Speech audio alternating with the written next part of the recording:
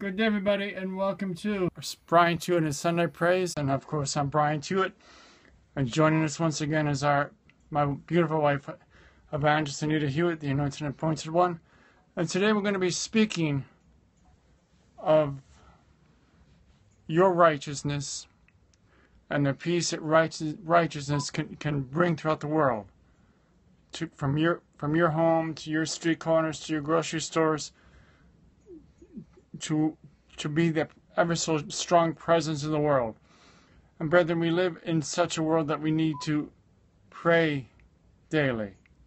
So before we get going, we're going to be in Romans 14, Romans 14. And let's get a clean sheet of notebook paper and, and a pen. We're going to be doing some top down, see through the scriptures. And let's go before the throne of God and pray.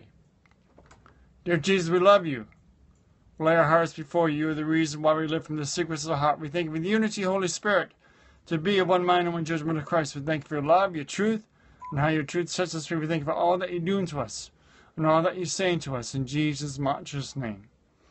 So remember, brethren, the good Lord sends down fresh mercies upon you, you, every day.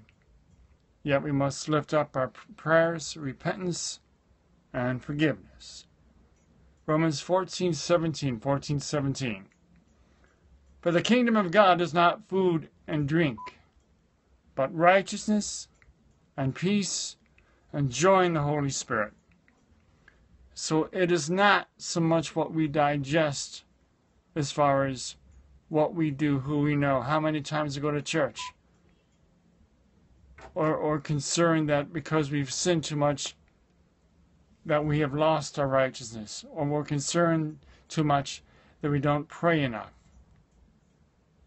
It is our righteousness and peace. Peace, which many, many people do not realize is a gift from God, comes down to our, our innermost being, our soul, which is the centerpiece of our existence. So wherever we breathe, wherever we turn our lives, that soul is facing that particular experience. And that particular experience will, whether it's temptation of sin, or that we are living in the righteousness of God. We are getting strengthened by the Word of God. We are being in new company. We are being away from an old lifestyle. And again, I say from much experience is that let those clowns who came from your past, some 20, 30, 40, even 10 years ago, a year ago, tap on your shoulder and say, I remember when you did this drug, or when you were party hardy. Well, before Paul was Paul, he was Saul. And the good Lord changed him with his grace, with his love, with his truth, and the righteousness and the peace of the Lord Jesus Christ came into him and he killed over a thousand Christians. So all of us had our own experience being Saul. Male, females, everybody. And God can change you into your own Paul. And with that, brethren, with this time, God's love, God's truth brings us to his ever so glorious powerful word, word that we have. Galatians 5:22 but the fruit of the spirit is love joy peace forbearance kindness goodness and faithfulness. To be faithful ever so much to our Lord but most important to ourselves to our families. To know what is in control what is not in control with our mindsets to set the strength and the liberty that we all have. For in the days when Daniel was alive, 244, in the days of these things it shall the king shall and in the days of these kings shall the God of heaven set up a kingdom. And the kingdom is at hand. The kingdom is all, all around you. in front of you, wants to be inside of you. And that, that, that kingdom is, is the Spirit of the Lord Jesus. But as you move every day with the headlines showing of what the end times that we are living in, this is no joke. This is not something to laugh at or to snicker at. But to move away from being judged or judging, to move away from, from anything that's a stumbling block, pulling you back, to walk away from those paths that are, that are basically trying to get in your way. You've got the Lord Jesus Christ. Get them out of your way by, by the power of prayer. Let the Lord deal with them. You don't have to do anything to them. You don't have to put a fist on their cheeks. You don't have to blast them over Facebook. The Lord Jesus will take care of them.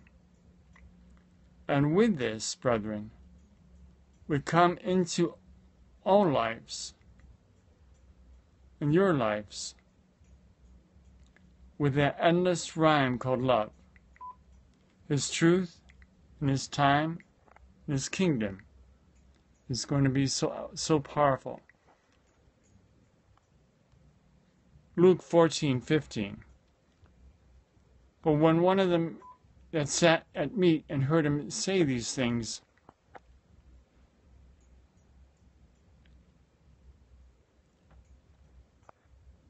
and it's,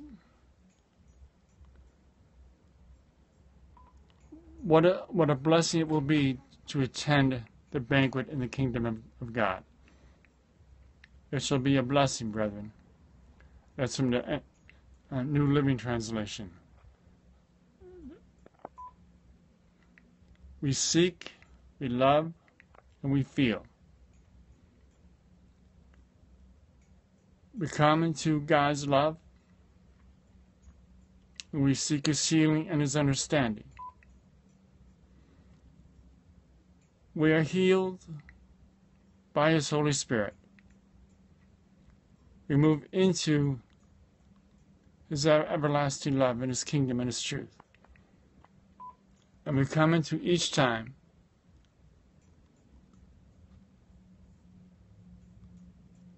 all that we have and all that we do. Revelation 19:9. The angel said to John, the angel said to me, Write this, blessed are those who are invited to the wedding supper of the Lamb. And he added, These are the true words of God. The true words of God can only really echo loud into your heart as you move into the righteousness and peace of God. You walk away from the old, move into the new. Walk into that substance of truth. Or walk away from everything. Because, brethren, we're living in the end times where I can tell you that brother will turn against brother, sister against brother at times, and sister against sister. And it is can be quite pathetic at times how people want to get ahead of time and screw everybody and say, well, we're doing this for you. Well, they're not really doing anything for you, but they're just trying to hurt you. But you got the power of the Holy Spirit. Just flick them off from your shoulders like they're dandruff and move on. It's time to sing. It's time to love His truth. It's time to be that blessing that we all have the blessings that we all need. In the mighty name of Jesus. Brethren, some many decades ago, at a healing service in Western New York, I became born again. Of course, you know, you're fresh, new, read the Bible maybe once, had all the answers. But as I would progress in be in Bible studies, I knew I couldn't do this alone.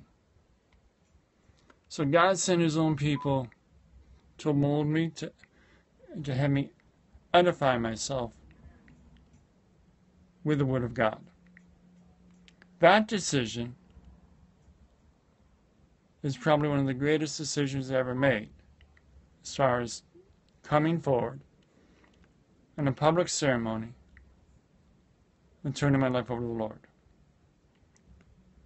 Sometime later, in a shelter in upstate New York, I would become an assistant pastor, be ordained as a minister, and called to his duty. Yet there was still more to learn. So as we grow, and as we flow, and as we share, very much like a bottle of wine, the Lord wants to put a new spirit within that new heart, the new born again you. But He's not going to put anything new in that old wineskin of sin that you have been wearing. Nothing will be new. So, for the, all, all of you who can do your best to repeat this after me, we like all of to share the invitation to come into the Lord and to know the Lord in Jesus' name. Dear Lord, I know I am a sinner. I acknowledge that you are the Son of God that came down to this earth to preach and teach, to, to bring those into your fold, and to rise again on the third day, and to give us eternal glory. You have forgiven us. When you said, said on the cross, it it is finished. All concerns for everything from our from from our past to our future to our present day to our bills to our health it is finished and you died for the punishment of our sins and gave us your, your beautiful truth and your beautiful embrace on that cross in Jesus' matchless name. I, I lay myself on the altar of yours, O Lord. Take me, love me, I'm yours. Brethren, if you said that prayer, as my wife prays your name in the background, I'm praising your name. Most part, the angels of heaven are singing your name before the throne of God. The angels of heaven are singing your name before the throne of God. You can do this, and you can feel this, and you can make that move into his ever so powerful truth, into his ever so powerful glory. In Jesus' matchless name. And brethren, we come into this time by just sharing that a full name of our ministry is Morningstar Communication Network, MC Ministries. Do come to visit us at bryanthewitt.com, bryanthewitt.com. And if you wish to send us a, a love gift, you can click on our contact link make the check payable to Morningstar Communication Network, uh, MCM Ministries, or you can just send us a donation link at under donate at bryanthewitt.com. We sing of his time, God's love. God's righteousness and peace is upon you. Open up your heart, lift up to the heavens. You've got a new life and a new world all around you. And that new life is not yesterday or the day before or an hour ago. It is the faith which is the now, the now of faith. Let's go before the throne of God and pray out. Dear Jesus, we love you. We'll our hearts before you. You're the reason why we live from the secrets of our heart.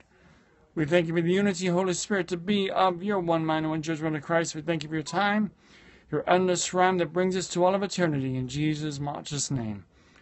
And brethren, on behalf of my anointed and appointed wife, Anita Hewitt, and myself, Brother Bryant Hewitt, we thank you for your time until next time.